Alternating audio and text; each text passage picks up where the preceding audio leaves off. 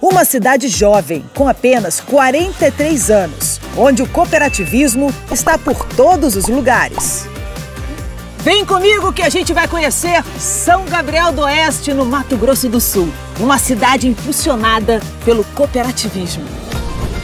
Começa agora mais um episódio do Somos Cop na Estrada, a websérie que está rodando o Brasil para mostrar a força do cooperativismo. E aí, vamos juntos?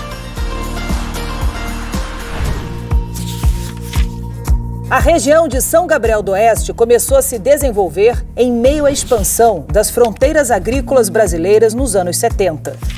Hoje, a cidade tem cerca de 32 mil habitantes e se consolidou como importante polo agropecuário e agroindustrial do Mato Grosso do Sul. E quem lidera esses setores são as cooperativas.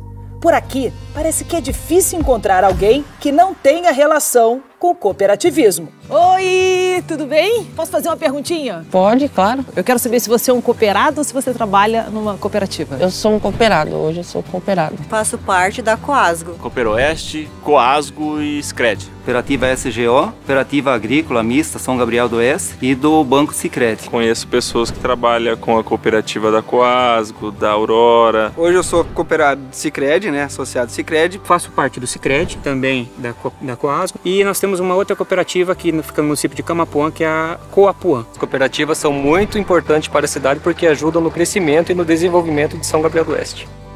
Oi, oi, oi, desculpa pelo susto. Tudo, Tudo bem? Como é seu nome? Aline. Qual é a sua relação com o cooperativismo? Eu sou cooperada de três cooperativas na cidade: o Sicredi, o Cicobi e a Coasgo. A Coasgo é uma cooperativa de suinocultores. Isso, eu tenho granja de suínos. Tem? Tenho. Será que eu posso ir lá? Claro que pode. Oba, então vou junto. Então vamos. As cooperativas da cidade trabalham de forma integrada. As de grãos, como a Cooper Oeste, vende para a Coasgo, de suinocultores, que fabrica rações para seus cooperados e vende os suínos para a Aurora, que tem uma planta na cidade. As cooperativas de transporte e as de crédito atuam com todas.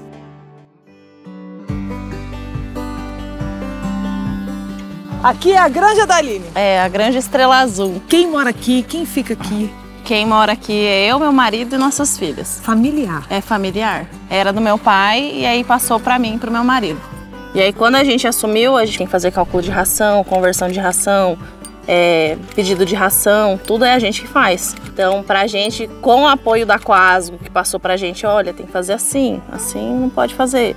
Então, pra gente foi mais fácil essa parte, porque a Coasgo passou pra gente todo um cronograma do que a gente teria que fazer sendo cooperado agora. Agora, te fazer uma pergunta. Se, por exemplo, você não tivesse a ajuda da Coasgo, você teria condições de fazer isso por conta própria? Ah, não teria, porque se a gente não tivesse o apoio da cooperativa, a gente não conseguiria ser independente, não conseguiria ter essa estrutura toda de atendimento técnico, de ração, de medicamentos que a Coasgo fornece pra gente.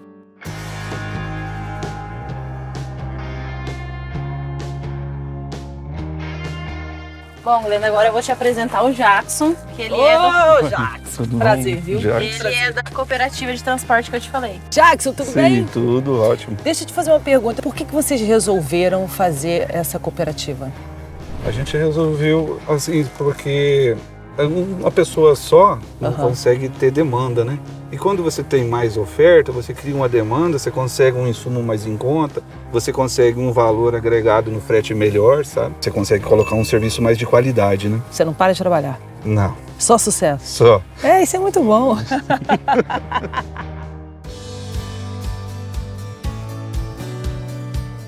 A força do cooperativismo desenvolveu São Gabriel do Oeste como um todo, não apenas as cooperativas. Não é à toa que a cidade tem um dos melhores índices de desenvolvimento humano do estado e um incrível PIB per capita de mais de 67 mil reais por habitante.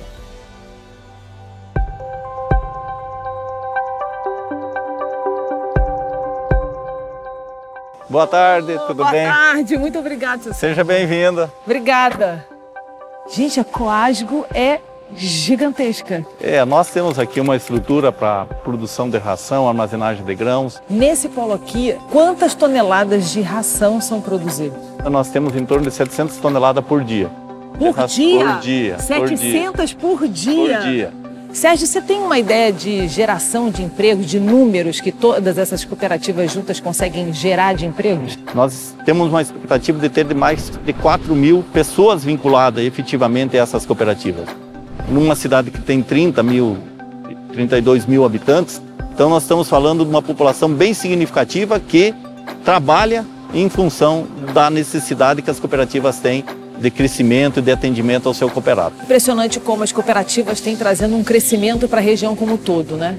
Com certeza, onde existe a cooperativa, o desenvolvimento aparece, ele transparece. Todo dia nós estamos aí chegando novas cooperativas que estão interagindo com as que já existem.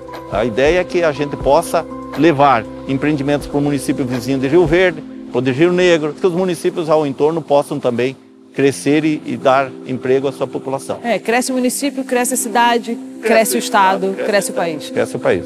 É por aí. Parabéns. Somos COP. Somos COP.